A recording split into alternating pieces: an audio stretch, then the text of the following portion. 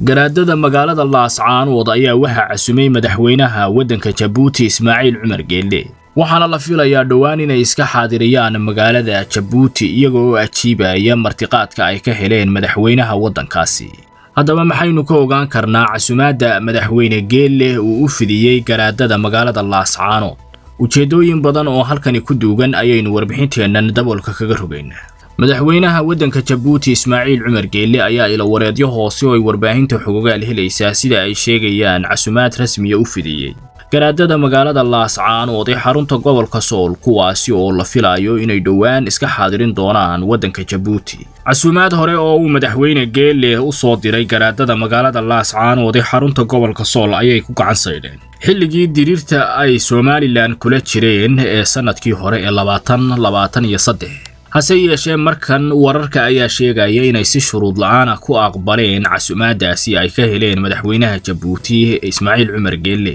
ujeeddooyinka taban iyo kuwa togane ka dambeeya martiqaadka ismaaciil cumar geelle iyo safarka garaadadu ay ugu kicitimayaan magaalada jabuuti. Ayaa sida ay sheegayaan ilawareedyo hoose oo ay warbaahinta xogogaal helaysaa waxa kow ka ah sidii somalilan loogu kicin lahaa duufaano siyaasadeed iyo diriiro kala duwan kuwaasi oo uu madaxweyne geelle doonayo inuu ka sameeyo bariga iyo galbeedka somalilan si uu u fashilmo heshiiska dowladda itoobiya iyo somalilan ay wada galeen dhowaan. Madaxweyne ismaaciil cumar geelle ayaa dhowaan u yeedhay wefdi xildhibaano iyo sida oo kale madax dhaqameed iyo siyaasiyiin isugu jira. Kuwaasi oo ka soo jeeda bartamaha iyo galbeedka somalilan waxaana ay ka wada hadleen sidii jabhado hubaysan looga samayn lahaa gobollada galbeedka somalilan kuwaasi oo ishortaaga isla heshiiska kan uu wakhtigan u xusul duubayo in la soo gebagabeeyo oo ay dowladda jabuuti sii haysato saamiga itoobiya ee wax kala soo degista kaasi oo boqolkiiba siddeetan gaadhsiisan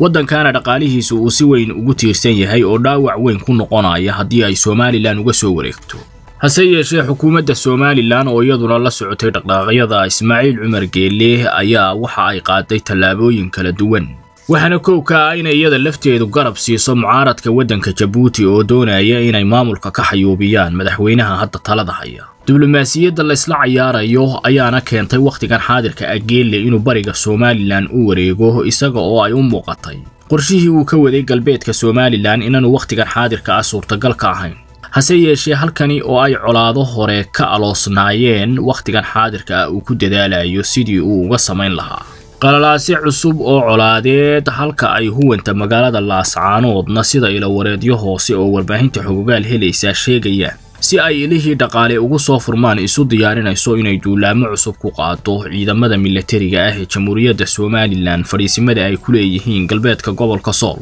maadaama oo xaalad adagi ay halkan ka jirto go'doon siyaasadeed iyo mid ganacsina ay ku jiraan waxa keliyaata ee ay ku tiirsanaayeen ayaa ahaa lacagihii ay ka heli jireen dadka qurbajoogga ah kuwaasi oo markii ay ciidamada somalilan diriirta kula jireen si joogto ah ugu socday. Hase yeeshee wakhtigan xaadirka ah maadaama aan wax dhaqdhaqaaqi ahay jirin iska taagay ujeeddada ugu weyne loo casumay garaadada bariga sool ayaa waxa ay salka ku haysaa sidii laysu hortaagi lahaa heshiiska somalilan iyo etoobiya waxaana qorshaha kan ka wada socda sida ilawareedyo diblomaasiyadeed ay sheegayaan madaxweynaha soomaaliya iyo madaxweynaha waddanka jabuuti ismaaciil cumar geelle garaadada bariga sool ayaana la filayaa dhowaan inay iska xaadiriyaan magaalada jabuuti kuwaasi oo aqbalay martiqaadkii uu fidiyey madaxweynaha waddankaasi. Qorshayaasha uu geelle ku howlan yahay ee ka dhanka ah somalilan iyo heshiiska etoobiya ayaana iska soo daba dhacaya. Tan iyo markii ay madaxweyne biixi iyo ra'iisul wasaare abiy axmed isafgaradka ku gaadheen magaalada adis ababa ee xarunta waddankaasi